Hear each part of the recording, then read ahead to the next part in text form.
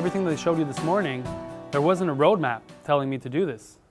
Because if it would have been, it was, you guys are lucky, you know? If you're following, you know, this is, but I had feelings of how this could fly, and then, so the next step is, you know, I'm, I don't want to talk about the next steps now. We'll talk about that at the end of the, the show. Yeah. So then, are you going to talk eventually about the heated greenhouse and, um, and how you came to, uh, the rootstock, the tomato rootstock you had, and, um, and then you said you did hire someone to teach you to, uh, uh, graft. Yeah.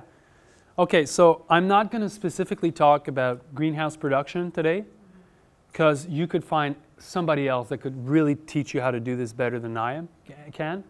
The take home message is that we hired a professional to teach us and it gave us a lot of great results. So it was an investment to pay that person. And um, we'll, I'll show you the systems in our greenhouse. They're super low tech, but it, it involves heating the greenhouse like big time. Like it's at 65 degrees all the time, minimum, even at night. Even now, if we were heating, it would be at 65. So there's a cost to that. Hence, the importance of optimizing your production. Yes? Um, what are these tarps that you put on that are gonna kill the weed seeds? I guess I was worried that's gonna kill all the soil microorganisms. Okay, I love your question. Tarping the soil is not solarizing. Okay, when you solarize, you put clear plastic on the soil, and that raises the temperatures to a point where it kills the weed seeds. But it also kills everybody that's there. On, with a black tarp, it's the absence of light that is destroying the weeds. So it's very different. So you're mulching. Okay? And this is exactly a good setup for what I want to talk about now. We've researched that because of this problem, which was how do we do salad mix without having weeds in them? Because doing what she's doing now is crazy. This, this used to take us so much time. It's just like, this is crazy. We need to find another solution. And basically, what I started to work with many years ago was that I needed to harvest two beds a week for my supply. So, what I would do is I would seed four beds every two weeks. The reason why I would seed four beds was because my sprinklers would water four beds. And then what I would do is I would, when I was seeding these four beds, I would prepare the four other beds that would be seeded two weeks from then. And I would water these guys also at the same time. So I was watering my four beds and four other beds, trying to germinate the weed seeds from these beds. Okay? And before that, I had a tarp that was also doing the work. Like that would be uh, two plus two, six weeks ahead of time, I had a tarp. And I, I, I was, uh, as I was going down, I was just moving the tarp and preparing the seed beds and seeding. And that was all a sequence to try and eliminate the seed in the seed banks. And, and, and if I didn't have any successions in my garden, I would do this for all of my crops. So I would just, I would, I would be not a farmer anymore. I would be a, a tarp puller. that would be my only job. I would pull tarps and then plant, and then pull tarps and then plant. But these ideas were really good with me because I wanted, I was also looking for a way to be the first at market with, with salad mix, using the same techniques of using the six row seeder. And because we have some that are inside the hoop houses, but the transition from harvesting outside was always kind of like different because I, I want to have a steady supply every week. So what we came up doing is that we, I would take my best field, the field that is the most uh, Norton one, that, ha that has the highest grade, so the ones that dries the fastest in the spring, and in the fall, and I hope you guys will be able to follow me here, in the fall, I would raise my beds higher than usual. Like instead of being, raising them to 5 inch, they would be like at 8 inch or 9 inch. So they would be higher. So when you do this, they drain faster and they warm up faster. The higher the bed, okay? So I would do that in the fall, raise my beds. Then I would put clear plastic onto these beds. That's in October. So the clear plastic, what it does is that it really warms up the soil, like big time. And then all the weeds, they germinate and then they establish. And I would leave it for four weeks to really get all the weeds. Everybody come on in, it's an open bar, you guys are welcome to grow. And then after a month, then I'm in November, I'll put a black tarp over everything. And that will kill all the weeds. Okay? I'll leave it for two or three weeks, all the way up till mid November. So that's clear plastic. That's clear plastic. That's old plastic from the greenhouses. Okay? And so now the black plastic over the clear plastic has killed the weeds. What I'm doing next is I'm removing the black plastic for the winter. So these beds are going to overwinter like that. What's going to happen in the spring? These guys, all, they'll warm up fast because they're high and because they have clear plastic. Like end of March, I remove this plastic. What happens when I remove this plastic? No weeds and ready to plant and it's dry because it's been covered. So by the end of March, I'm, I'm direct seeding in my fields. And then I'm putting, uh, I'm putting a mini tunnel and I'm putting a caterpillar tunnel over it. And the microbes don't need moisture? The microbes, that's a great question. What happens to them? I don't really know in the winter, but they're kind of, when soil is not warm, it, they, it's not really active. So this transition works pretty well. And so if you, if you followed through, so you, we're using the, the plastic as elements to enhance what we're doing. And so when I direct seed, I won't have any weeds because I haven't reworked the soil, bringing back weed seeds from the bottom up. So this is one example of where I think, as market gardeners, we should strive for. Instead of looking at weed control, why don't we develop things like strategies like that to prevent weeds from, from being a problem? You know, this is a picture of a calendar I took in France.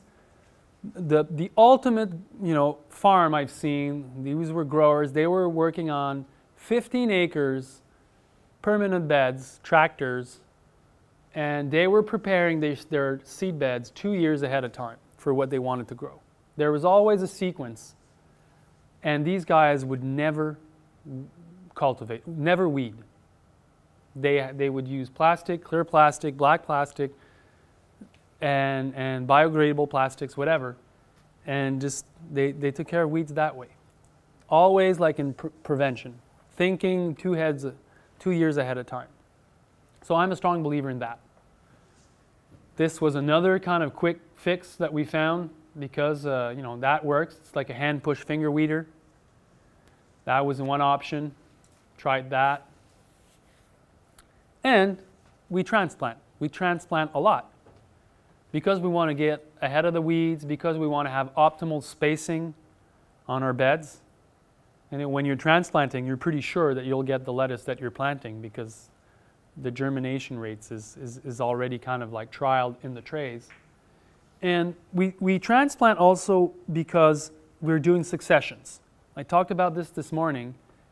You know, we've optimized the, the, the area, the space, by intensifying the production, but also with time by intercropping and, and having crops that are quickly replaced with. I have like a bed of radishes. It's, it's harvested. The next day, I'm planting lettuces. But I, I needed to know when the radishes were done because I needed to start the next lettuces four weeks before. So that four weeks that the lettuce spent in the greenhouse, it's like four weeks that I'm gaining in my season. I don't know if you Are you following this? And so that's why we transplant a lot, and that's where the, the, the calendar, crop planning calendar, gets to be like absolutely necessary because that's the only way we can manage to know, you know, when to start things, where is it going to go, by what is it going to be replaced with, and when do we need to start these things that are replacing the others. So all of, things, all of this is blended into the calendar. Now, I, I think we'll have time today, but I'll talk about the calendar later on. Do you use a program or do you do it by hand? I do it by hand. So quickly, I wanted to run by you uh, our operation, our seedling operation, because we do a lot of seedlings. So the first thing is that we use trays, okay? And trays are really the way to go if you want to be efficient, if you want to be effective. Trays are, you know, they're, they're built for that. And uh, you have a chart that's pretty handy in, uh, in the Market Gardener, the book, because, you know, e- each vegetables, if they're growing in trays, they'll have their number of cell. So all the trays, they're, they're all the same size. So when you have trays that are called 72 or 128, what that means is that you'll have 128 cells, 128 cells, or 72 cells, meaning that the 72s, they're bigger, okay? So each vegetables has its own cells and the set amount of numbers of days they need to be in their cells. If, if you remove them before that, then the roots are not bounded correctly and then the, the, the thing won't hold. And if it stays longer, then it creates problems. There's root bound problems. So these numbers, you, you know, you don't reinvent. This is like 50 years of, you know, but, but this is interesting. Because we have 100 uh, uh, foot beds everywhere, it was easy for us to calculate. You know, we're transplanting um, beets. So I need 11 trays to transplant one, one bed.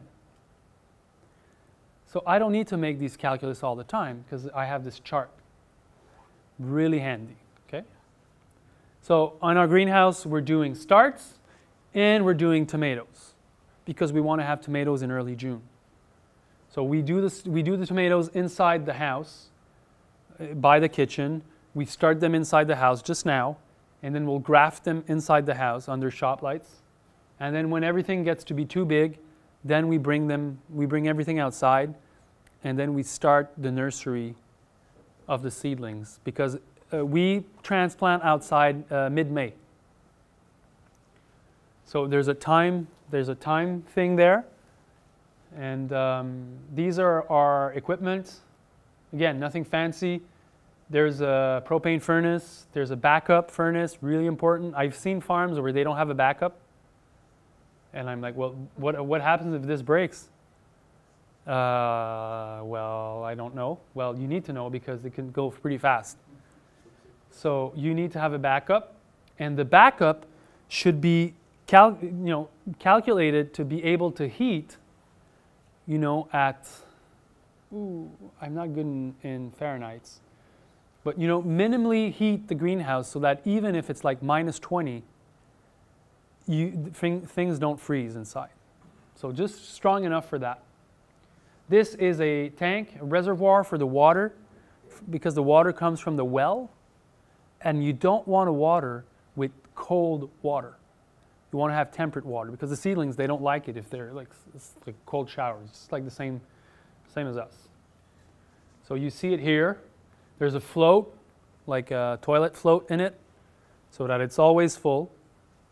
There's an expansion tank on a jacuzzi pump so that we're able to water without turning on and off the pump.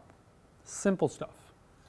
There's a generator hooked up on my BCS because if I have a power shortage, I need to be able to have my furnace operate.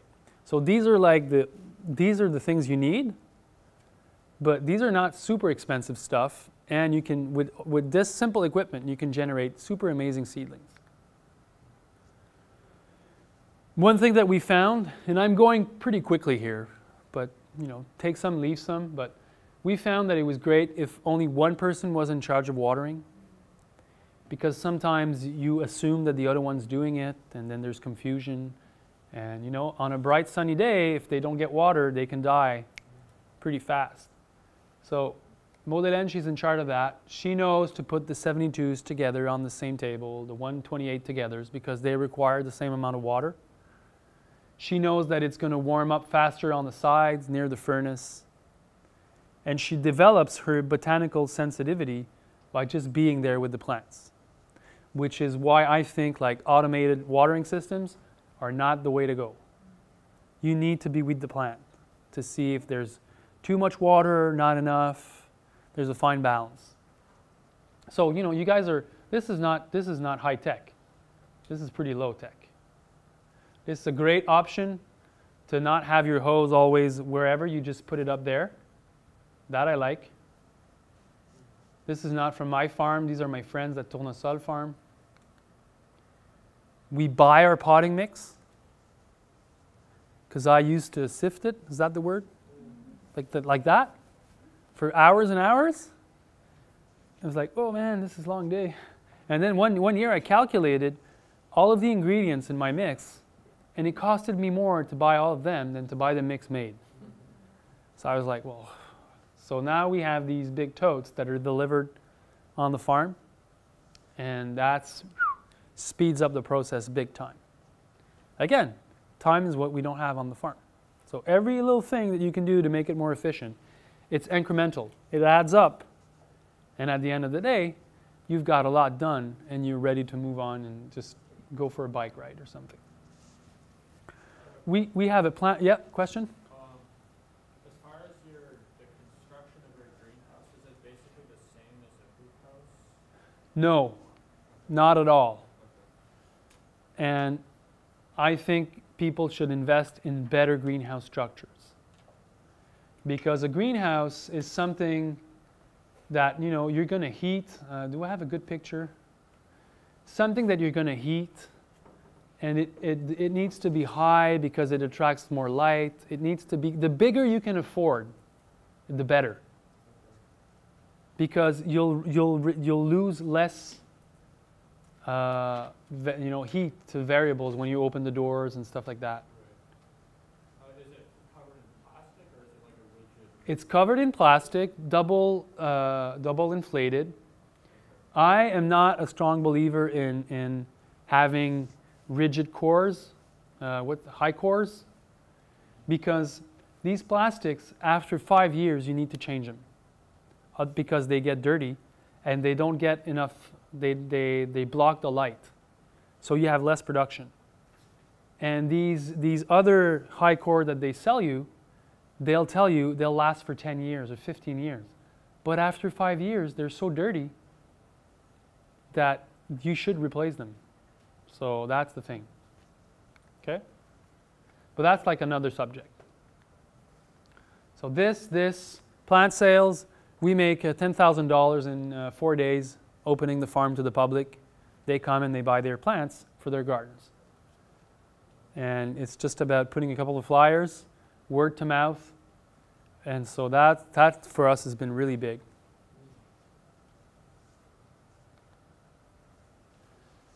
This is a vacuum seeder. We used to put the seeds by hand in the trays. So when you're doing, you know, four beds of beets, so that's 20, no, that's 44 trays.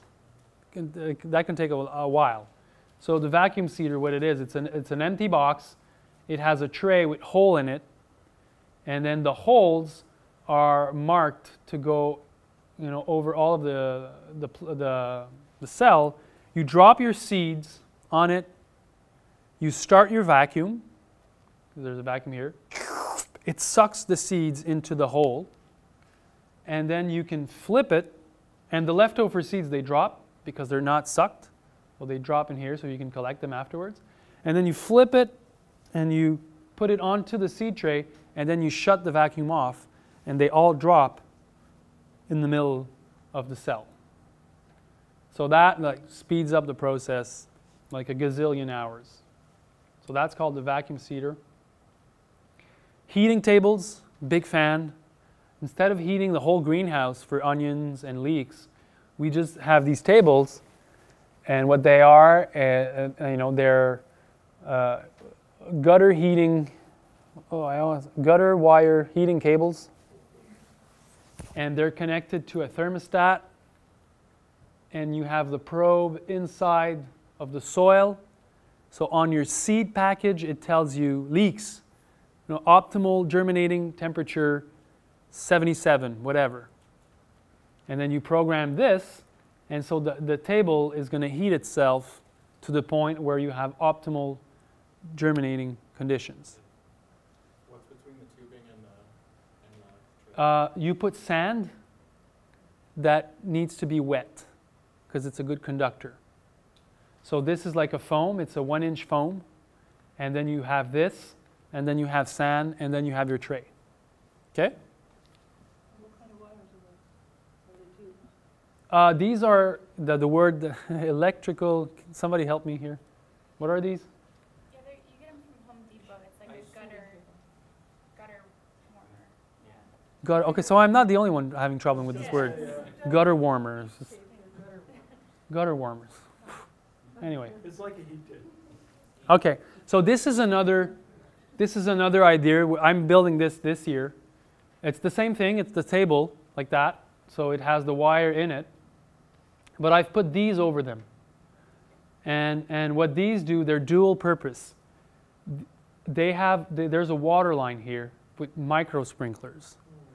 So I can just turn off the valve, and it's going to water the table, but the whole table at once.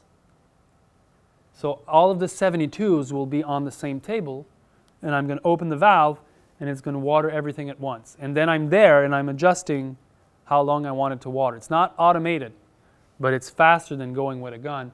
But why I want this is because I've had the problem where I want to cover this with either floating row cover because it retains the heat of the, of the heating table, or sometimes insect nets for certain, you know, insect problems that I had.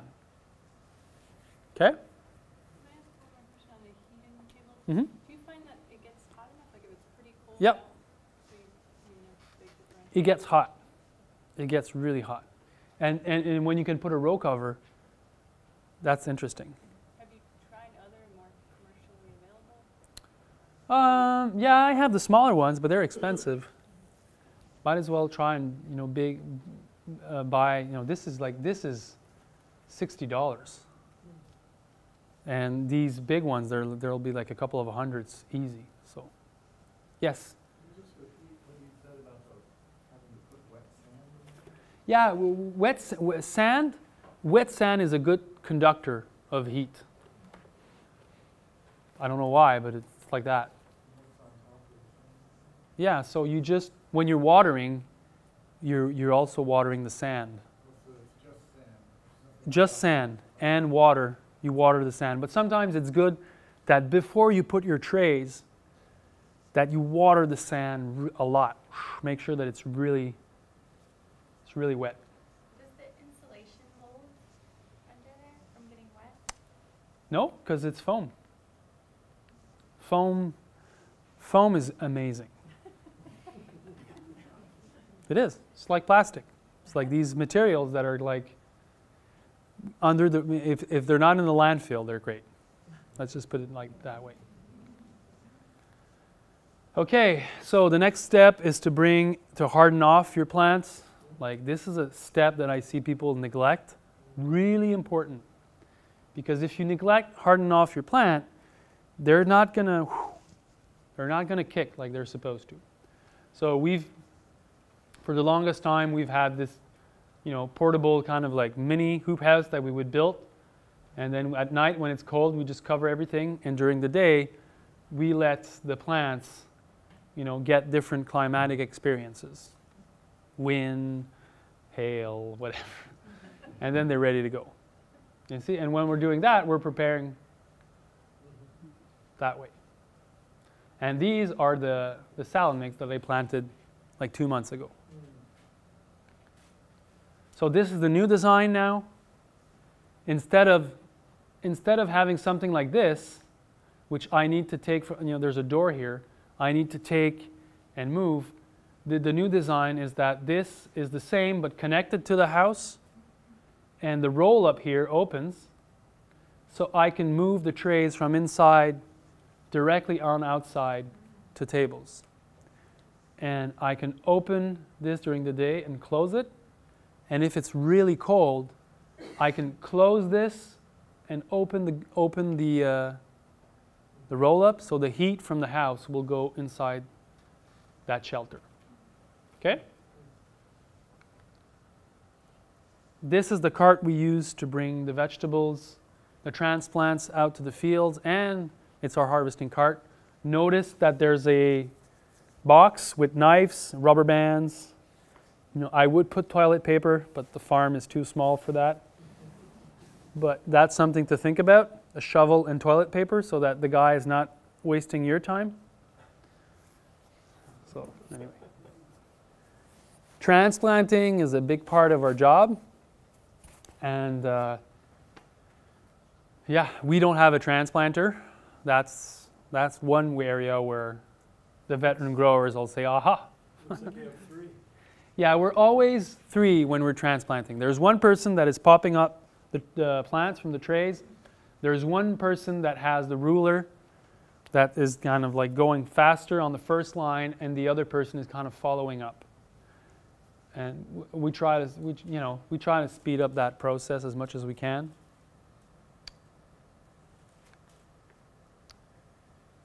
This is the seedbed, uh, the yeah, the seedbed roller I showed you before. They've developed clamps, dibblers that you can put on it, and you can put them at different uh, areas. So what you're doing is that you're marking your uh, sideways and crossways by doing it that way. And these are like super easy to change. And so now, you know, the person won't even have to measure anything. He just follows into the mark that you've made. And that is useful. Let's say you're planting six beds of, I don't know, spinach. And spinach is like four rows, six inch on the rows. That's a lot of time thinking about where everything goes. So then you just take the time to install this, and then boom, boom, boom, boom, you mark your beds, and then the guy that's transplanting is a no brainer. Okay? This is like super cheap. I think they're like 60 bucks to get the whole kit, and the roller is like 200 bucks. So it's, it's worthwhile. Again, all standardized to 30 inch. When we're transplanting, what we tell our employees and our interns is to make sure that the plug is flush here and flush here. So you don't want to have an air pocket here because the roots will have a hard time uh, connecting with the soil. And you don't want to have, uh, you don't want to have the, what's the word for this? Peter, the stem being uh, buried because most of these plants will get damaged that way. And you don't want to have the, the plug coming out because otherwise the, it's like if the, the soil sucks the moisture out of it. So it, want, it needs to be flushed both ways. Take the extra time, we tell them, to, make, to take a good job. And then we tell them that, and then we watch them do it, and then we're like, well, speed it up also. it's crazy. Okay? And this is, im- this, is, yeah, we want it all because when you're transplanting, you're doing repetitive work. So let's say I'm opening the soil with my hand. I'm taking the plant, I'm putting it in, and I'm taking both my hands to close it. And then I'm moving on. Okay? This other guy, he's taking one hand, one other hand, he's taking the plan, he's putting it, turning it, going like this, like this, like this, like this. and then he's moving on. He, he took like five more time than I did. And he needs to be conscious that all these movements, it's adding time. So we try to train them the right way, but sometimes. So be conscious of that on your farms. Like all these little steps, you need to think about them consciously because at the end of the day, it makes a difference. Do your interns go on and start their own place? Yeah, we hire our employee. No, interns, no. Interns, it's just, it's kind of funny I'm going to say this. It's kind of bold, but our goal with the intern was to show them a farm that is not dysfunctional. And so, so to have an immersion in a farm that it works and that people are happy and it's positive. So we, so four weeks is enough for them to figure that out, and they're not paid. So after four weeks, some of them are like, well, okay, well, that's fine. But our employees, they stay for two years, and after that, they start their own farms. So we're not interested in having long-term commitments because the pay would need to go up, and we can't really afford that. And so after two years, they move on, and then there's always it's the shoveling. There's one person that is leaving, and the other is staying, and that's how we go. They stay motivated. After two years, it's more like a routine job.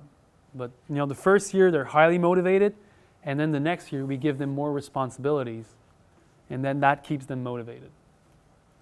Knee pads, like this took me 10 years to figure that out. I was having back problems all the time in the spring, and it was because my knees were in wet soil.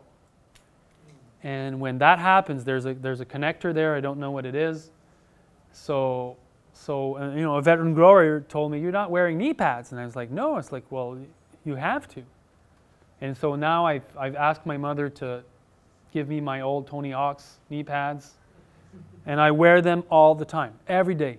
So I'm going to put my pants, and then I'm going to put my knee pads, and then my boots. And when I don't need my knee pads, they're down, and when I need them, I just pull them up. But I'm carrying them all the time. And you should too. If you want to farm for a long time, makes a difference. Yeah. Yeah. Wet soil. And because it's sometimes it's hard to transplant in crouching positions all the time, so we do end up sometimes on our knees. And but wet soil is a killer. Especially cold, wet soil. Which is when we transplant. So this is pretty much what we do. So if people, you know, some people are not farmers and they think farming is quite sexy. This is like these are long days. And so that was one area where I was looking for a way to speed up that process. How can we transplant faster? And two years ago, I found this. Perhaps you've heard about it. It's called a paper pot transplanter. And I, it's the most amazing thing ever. So I'll show you how it goes. The paper pot transplanter. These are origami paper pots.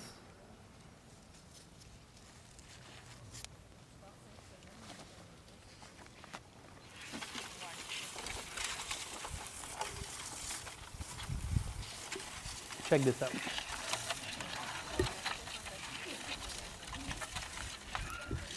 Isn't that fantastic? This is epic.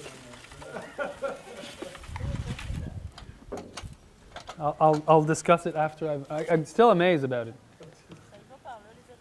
This is, these, these from, come from Japan, and it's highly intelligent, very simple, and it works. Prête pour le grand voyage? I'm ready to rock, baby.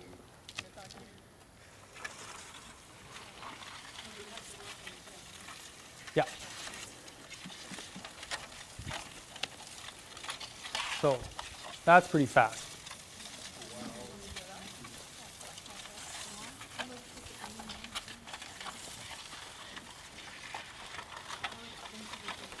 That the drawback of this tool is that to get the starter kit is more than $2,000 with the paper pots. And so there's a cost to this efficiency. But once you have it, you can run many, many years and speed up the process. The, the other drawback is that it's not certified everywhere. In Vermont, NOFA Vermont certified it. Like in, in Canada, they've ruled it out. Certified again? Yeah. Because of the paper? Yeah, because in the paper there's a glue, acetone, the same glue that you'll have in cardboard, and they've ruled it out. It should be overruled because this is, for small scale farmers, this is the future. You know? So you guys are cool, you can use it, there's no problem. And uh, yeah. Then you go back and you have to cover it. No, no. The um, it's just because that was like the field trial. I just got it. It was like the first time I was using it, and you can you can adjust it as you go. That's one reason why you want to have your beds leveled. No, no, no. You just pull everything, but you can adjust the depth with with the handlebar. So it's just getting the hang of it. And we've you know we've seen. Uh, uh, I'm not going to redo the video, but we've seen some that aren't really in the ground. It'll work anyway, because the roots will.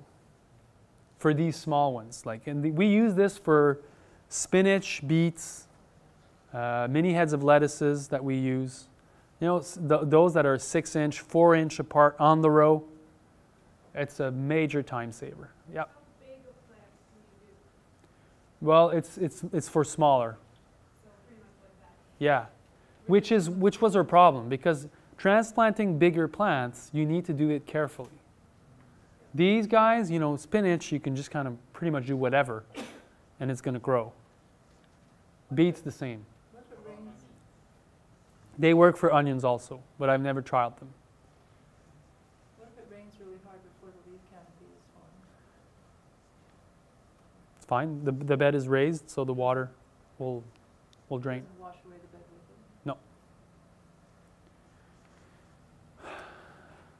Pretty cool, eh? They're Yep. very cool. Are you able to use your vacuum seeder with this system? Um, that's the next step. But I have a problem. It's like I'm not certified. Like if I use this, you know, if there's a there's Richard here from Quebec, you know, he's not going to tell, I hope, but I need to be careful. Okay? So so I can't invest too much time in figuring all of this out. In, uh, yes. Does it get like clogged up in wet soil? Well, it's always the same. You need to have good seedbed conditions when you're doing this.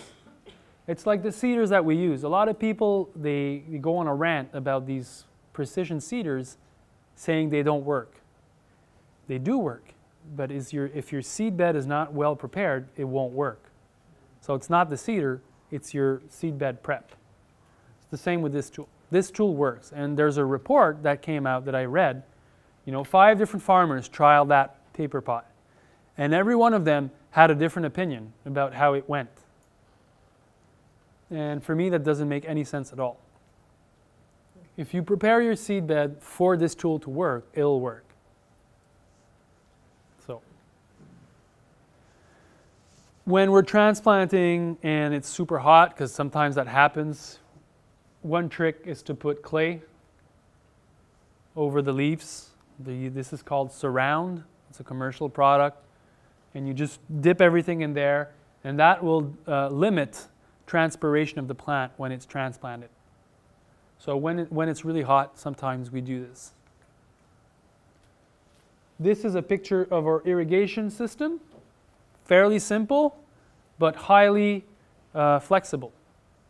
So I said, you know, there's a main line that goes all around our gardens, and there's two valves per garden, per field blocks because one line waters eight beds, and all my field blocks are 16 beds. So two valves, and then these are the micro sprinklers that we use. Low pressure, 35 psi, and the, the line can be put anywhere you want, and you can go from watering eight beds to six to three or whatever by just adjusting the valve. So. And there's a flexible hose that connects from the main line to the valve. That's right your well? No, it's from a pond that we dug. And there's a, there's a line that goes all the way from there to around the garden.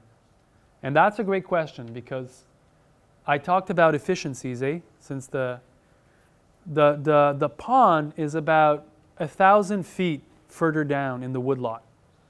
Okay? And uh, when we got the farm going, you know, the, the choice we had was to put an electrical pump or a gasoline pump. Gasoline pumps are really inexpensive. And electrical pumps are more expensive, but putting a wire that would go from the farmhouse all the way down a thousand uh, feet was about three grands. But we had to do this, no choice. Why? Because sometimes when we're doing, especially with direct seeded crops, the soil needs to be kept uh, moist throughout the day. So we have these, these micro sprinklers, we'll see them here. We use these, these guys water four beds, and we'll water four or five times a day for like five minutes. Okay? And so if the option is to walk a thousand, is to, you set up your sprinklers, you walk a thousand feet down to start your gasoline pump. Okay, pumps they need to be close to the water source. Pumps are made to pull water, to push water, not to pull. Okay, so your pump is where the, your, the pond is. So you go down, you walk, you know, I don't know, six minutes. You start your pump, and then you come back, and then you notice that it exploded. Like there's something wrong. The sprinkler exploded, so it's guzzling water everywhere. So you can't turn the valve off because otherwise the, the pressure will mount and the whole system will blow up. So you need to run, shut on the pump, and then you run back, and then you fix the water line, then you start it again. You come back, oh, it's not working, I didn't fix it, and, and just like, this is crazy. You can lose half your day just going back and forth. You can get a bike, or, or a motorbike, or a truck, I don't know, but the fact that now you have a wire that is in the ground makes it so that you know you could be at the warehouse and just open and close the pump on demand. You can even have it on your iPhone. So that's something to think about. Uh, uh, mini wobblers, the best. I would recommend these guys. yeah. Uh, water hydrants below frost. There, if you guys are doing winter production, no choice, you need to have these. So the principle is really simple. Uh, you open the valve, water comes up. Close the valve, water goes down below frost line. So even in the middle of the winter, you can water anything you want. I call it drip irritation.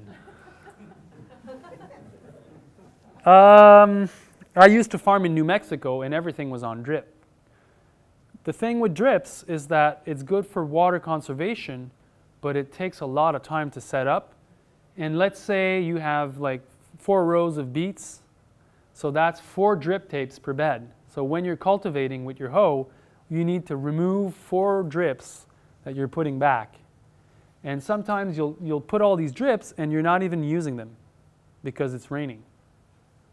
So I, I prefer overhead sprinklers for pretty much everything, yeah. So I'm not really concerned about water conservation actually. Because where I grew up in the suburbs, people wash their driveways with water.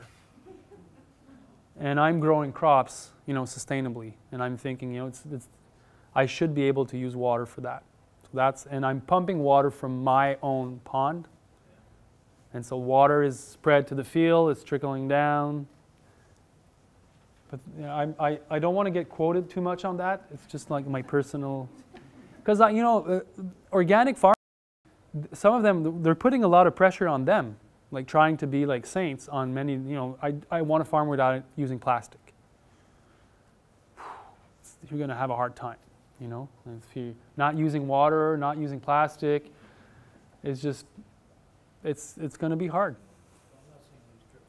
Yeah, we, we use drips for crops that are like 100 days under, under, um, roca, under um, pl black plastic mulch or inside the greenhouse. Yeah, yeah. Yeah, I don't want to sound too, too harsh, but it's just, this is the kind of thinking, you know, you need to think about efficiency also because the goal at the end is that you make a living doing this.